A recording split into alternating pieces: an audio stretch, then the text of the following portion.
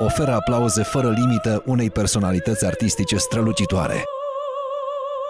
Angela Gheorghiu într-un concert unic în România.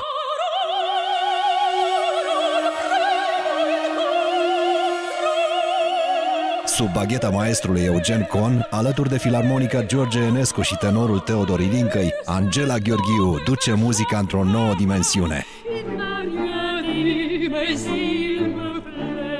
Arii și duete clasice, proiecții video, decor 3D. Concert Angela Gheorghiu, duminică la TVR1.